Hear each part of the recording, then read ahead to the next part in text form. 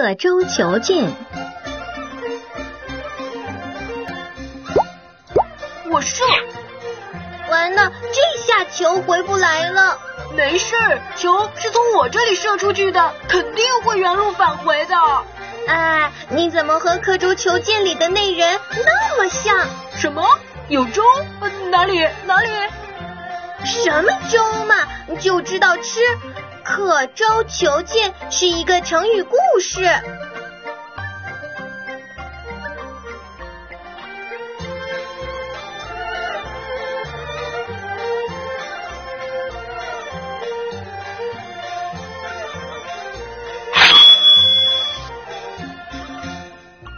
呃，你是不是又要干什么坏事啊？不是，不是。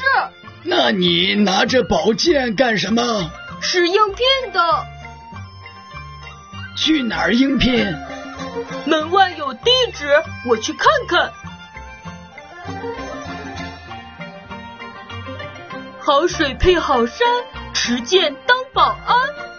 客官，上船。到八里河对岸多少钱？五两银子。果然公道。兄弟，这是去干什么呀？应聘。什么工作？保安。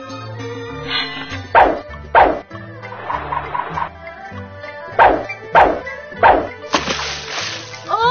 我的剑！啊！我不会游泳，我的脑子开始进水了。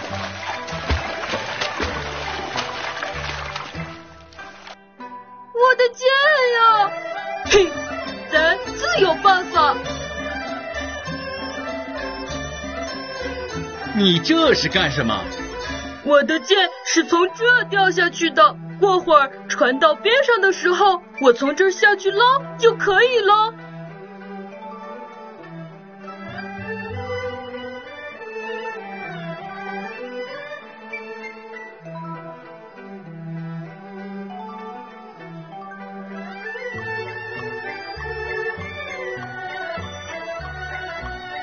兄弟，到了。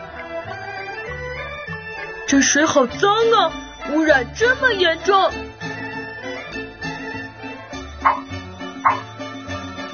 找到了，哈哈，我真是一个天才呀！